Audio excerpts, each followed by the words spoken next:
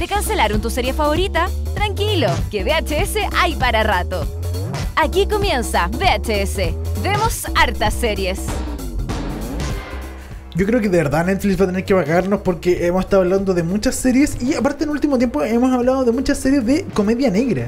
Hoy día, Sí, eso hablar- es cierto. hoy día trajimos otra serie de comedia negra. Otra serie de comedia y también de Netflix. Sí, pues también de Porque yo creo que HBO tiene que ponerse las pilas. Sí. HBO bueno, se supone que HBO después de Game of Thrones va a tener mucha cosa Sí. nueva. Va, va- como que ha tenido varios. eh, Watchmen, eh, Euphoria, que es otra serie. Lanzó, la- bueno, hace poco lanzó como una, un- un- una promo con todos los estrenos que se vienen a lo largo del año y se ven muy buenos. Big Little Lies. La segunda temporada de Big Little Lies, Watchmen, Chernobyl. Claro. eh, ¿Qué más? Eh, Ah, estaba con la con la chiquilla esta, las eh, Zen- Zendaya. ah, eh, Euphoria. Eufórica, también me Euphoria muy también. buena. Y bueno, y FX y Fox, pónganse Sí, las pilas, po. Fox hace rato no se ponen las pilas. Sí, falta. Se quedó ahí en DC Sass, Modern Sí. Family que se le va a acabar y, y Walking Dead. Sería. Sí, pero yo creo que vamos a tener después de un- una avalancha de series cuando salga Disney Plus Ah, y, y, sí, Ama- po. y Apple, Apple TV. Apple TV. Sí. Yo creo que vamos a tener una, una buena cantidad de semanas hablando de esas series Es de, verdad. de- de Apple TV, de las nuevas Y plataformas. Hulu, que ahora va a llegar a Chile porque Disney compró Hulu y dijeron que Hulu ahora va a llegar a Latinoamérica. No hay bolsillo que aguante así, Dani. Es verdad. Sí, no, no, no. Vamos a tener que. Sí, vamos a tener que caer en la, en la profesión más antigua del mundo para poder. eh, ¿Cuál, cuál sería esa? eh, mm, no sé. eh, Reírse. eh, eh, reírse de los gordos. re- reírse de la gente. de reírse de la gente. Hoy día nos trajimos Dead to Me. Una serie también de humor negro y también que yo creo que si usted en el diccionario busca eh, Dramedy, va a estar eh, Afterlife, que lo hablamos la semana pasada, y Sí. Dead to Me va a estar al lado. Dead to Me que es mucho más nueva que Afterlife. Se, Sí. se estrenó el 2 de mayo, Hace poquito, poquito. hace poquito tiempo. Y, eh, y lo más entretenido es que eh, eh, tiene a las protagonistas, eh, por ejemplo, hoy se me fue. se me fue Cristina el- Applegate, Cristina Apple, la reconocida Sí. eh, de matrimonio con hijos. De veras, por la cabra chica. La, ca- o sea, no era tan chica. Bueno, era como la joven, pero era, era, era la adolescente. la adolescente, sí. Sí, también de eh, muchas eh, otras eh, series más y comedias. Sí. Y también la otra actriz principal es Linda Cardellini, que a mí me encanta, que yo la amo desde Freaks and Geeks. Es la misma. Linda Cardellini que estuvo también en Bloodline. Oye, eh, sí, pues actuó en Bloodline y Linda Cardellini ahora actúa en todo. Y que que en todas las películas está Linda Cardellini hace como un papel piolita. Hasta hasta en Avengers, Linda Cardellini. Aquí estoy viendo el, el- este, en Scooby-Doo. En Scooby-Doo. En, sí, Scoo- en de Scooby-Doo. Vilma. Así. Sí. sí, bueno, tiene razón. Estuvo en Avengers, en eh, Avengers 1, Ahora está en el cine con La Llorona. 4. La Llorona también. Sí. No sé, hecho, siempre hacen muchas películas, pero actúa Sí. tiene un papel así como piolita, como que no es la principal. Y en, en Mad Men también estuvo. De Mad Men también, pues era como una mina que, que se metía con Don Draper. Exactamente. Eh, He tenido buena. Bueno, Sí. y en Bloodline también para la gente que. que bueno, en ER también estuvo, También. tuvo un personaje importante. Y por supuesto en Freaks and Geeks, la mejor serie de la- del mundo, de la historia. Freaks and Geeks, exactamente. Eh, Linda Cardellini creció de Freaks and Geeks hasta ahora, ha actuado mucho, eh, se ve, se, se sigue viendo muy joven. Y eh, lanzó con Christina Applegate, que se conocen muy bien porque Christina Applegate es la señora de Jude Apatow. Y Jude Apatow es el creador de Freak and Geeks. Exacto, así que se conocen muy bien con eh, Christina Applegate, Linda Cardellini. Y estrenaron, como decías, en mayo de este año esta serie llamada Dead to Me, que es producida por Will Ferrell. Will, oye, Will Ferrell también produjo otra serie que no me acuerdo en este momento cuál fue, pero también era como bien, era como importante, una serie Mira. bien llamativa porque parece que eh, Will Ferrell, además de ser eh, actor, él se mete mucho en este tema de la producción. Sí, pues tiene una productora, eh, Gary Sánchez y Gloria Sánchez Productora, Pro- Production, creo que se llama. Production. Y eh, bueno, Liz Feldman es la creadora de esta serie Dead to Me. Y eh, Li- tiene- Liz Feldman, per- perdona Dani que te Eh, interrumpa, de, de- de la, de la serie eh, Two Broke eh, Girls, que ya, Ah, ya está finalizada sí. y es la creadora también de, de esa serie. Sí. bueno, ¿de qué se trata Dead to Me? Básicamente de Christina Applegate, que es una reciente viuda. ¿Ya? Su marido murió eh, de un uh, alguien lo atropelló, él salió a correr en la noche y alguien lo atropelló y murió y no se sabe quién, porque fue un hit and run que se llama, que es cuando atropellan y se va la persona y Se da la fuga. se da la fuga y finalmente deja el cuerpo ahí en el suelo. Y así fue como murió y no, no logran identificar a quién mató a esta, a, este, a esta persona. Y Christina Applegate es como, esto, todo esto pasa como en Los Ángeles y es como muy cuica, como muy top y todo el asunto. Y se queda sola con dos hijos, con problemas de dinero. Y eh, entra a un grupo de eh, viudas.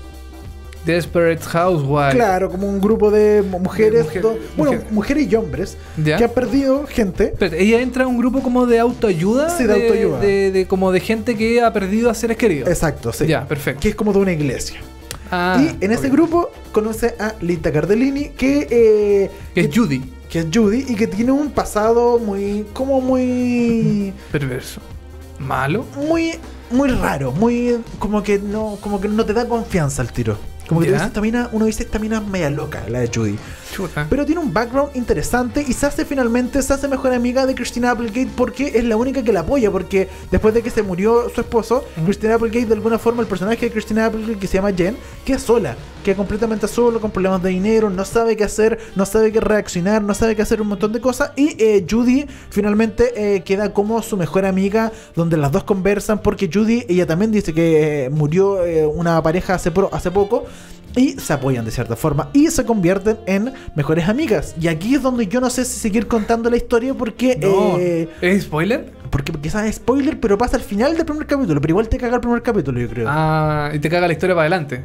Eh, un poquito. Oye, pero lo que tú me estás contando, Dani, es como muy dramático. ¿Esto es drama? Sí, po. Eh, Pero no parece comedia, parece un drama. Parece un drama todo el rato, pero eh, pero es comedia, tiene harto de comedia, sobre todo de Christina Applegate. Uno espera, eh, Christina Applegate en general ha hecho mucha comedia en toda su vida. Bueno, está casada con Chotapa, todo es como el genio de la comedia.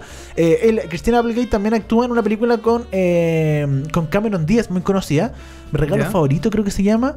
¿Ya? Eh, y ella se maneja muy bien en la comedia y es notable como aquí puede jugar con el drama y cómo esta serie, como yo te decía al principio del podcast, eh, juega muy bien la comedia con el drama. De verdad, se llevan muy bien est- estos dos géneros en esta serie que al principio uno la ve y dice como...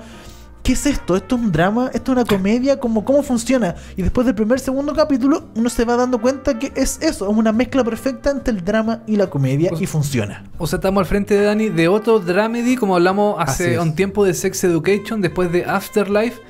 Y ahora estamos hablando de Dead to Me, otro dramedy. Sí. eh, El género del año, creo yo.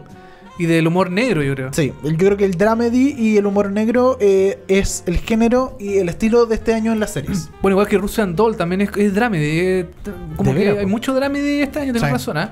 Como que Netflix ha esmerado mucho en sacar este mm, este este género, no sé si género, pero es como una mezcla entre estos dos Sí. como esta- estas cuestiones. Pero hay que saber hacerlo, es muy difícil hacerlo. Y yo creo que aquí en esta serie funciona muy bien. Está muy bien armado en las actuaciones de Linda Cardellini y Christina Applegate. Oh, por favor, denle Emmys, por favor. De Es- verdad ah, que actúan muy bien. Yo no he visto la serie, eh, yo me estoy desayunando con todo lo, que- lo que- lo que tú me estás contando, pero si tú me dices que hay así como para darle Emmy, es, es- parece Sí. que es bien buena. Es súper buena. Y aparte es súper feminista. Está muy a la moda con los tiempos, eh, es muy feminista, eh, eh, es, muy de mujeres, hay muchas mujeres protagonistas en esta serie y siempre en general como que hay un personaje hombre que queda mal y los hombres en general quedan mal en esta serie y la- es muy como empoderada de mujeres, ¿cachai? Oye, Dani, ¿cuántas, ¿cuántos episodios tiene esta...? ¿Tú has visto, tuviste la, la temporada completa? Sí, vi la temporada completa, son 8 puede ser. No Ya. recuerdo muy bien. Aquí Debe estoy ser viendo. ocho o diez 10, por ahí. perdón. 10. Ya. Son 10 capítulos. No son cortitos. Son, Ah, son cortitos. Sí, son cortitos. Todos duran entre 26 y 30 minutos. Ah, perfecto. Y eh, de verdad son uh, muy interesantes. Es, es también eh, interesante ver a James Madsen eh, como es el, eh, uno de los protagonistas de Westworld. ¿Ya? Que en Westworld aparece como muy serio y como muy como en otro en otra época, en otro en otro tono muy eh, comedia, muy perdón, drama Ajá. y aquí mucho más en comedia, un personaje totalmente como estereotipado y distinto a lo que hacen eh, En, en Westworld. en Westwood, sí. Es muy interesante el personaje de James Marsden.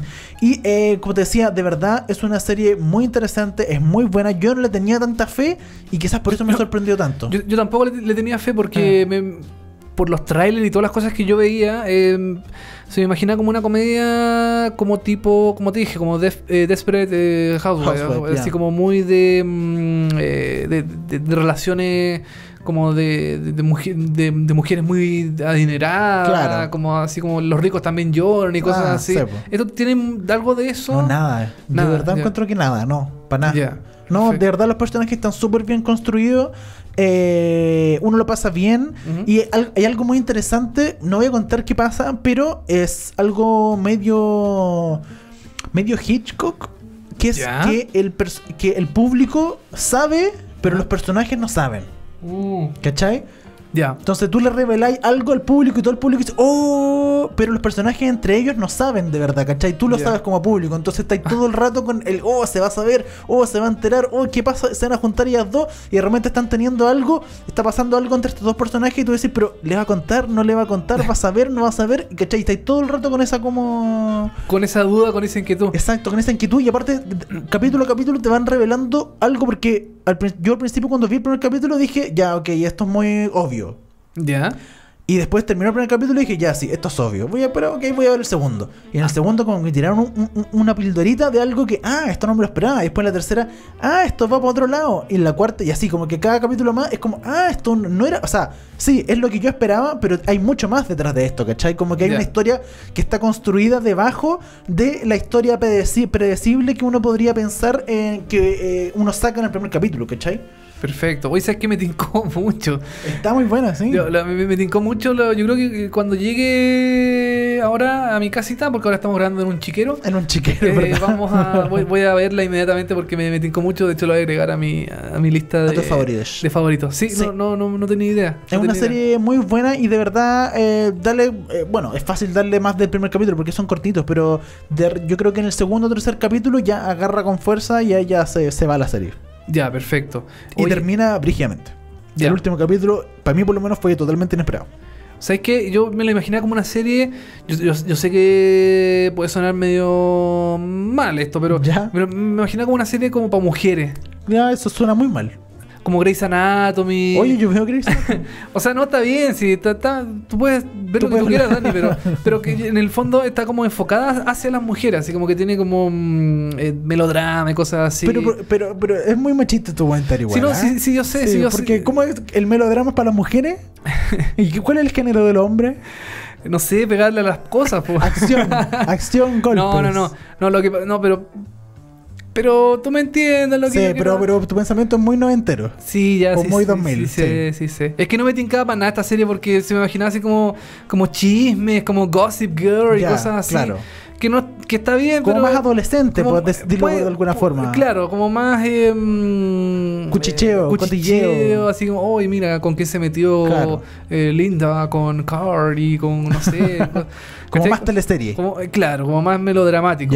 Así me lo imaginaba yo. Todo, todo lo que dije anteriormente, olvídenlo, por favor, ¿ya? Barrémoslo. No, eso que serie para mujeres, ¿no? Que eso no existe. Ahora todas las mujeres, o sea, todos los- todas las series son para todo el Para mundo. cualquiera.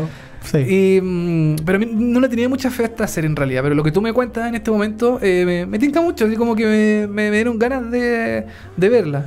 Eh, Y si son cortitos los episodios, mejor todavía. Exacto, son cortitos, se pasan muy rápido, de verdad son muy entretenidos, se pasa rápido, uno lo disfruta.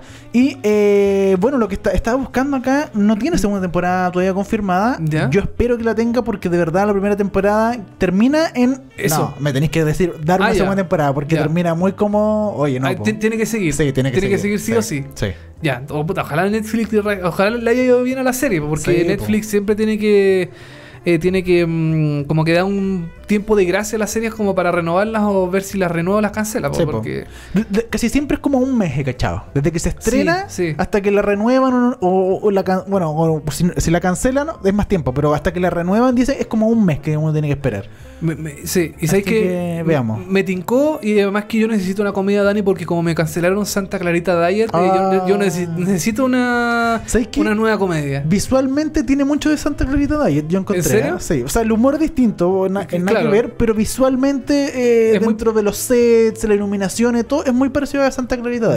Sí. Ah, eso eso me tincó, eso me tincó. ¿Te gustó ahí? Sí, ahí también me pun- puntos más, puntos más pa- para la serie. Dead to Me, creada por Liz Feldman, protagonizada por Linda Cardellini y Christina Applegate.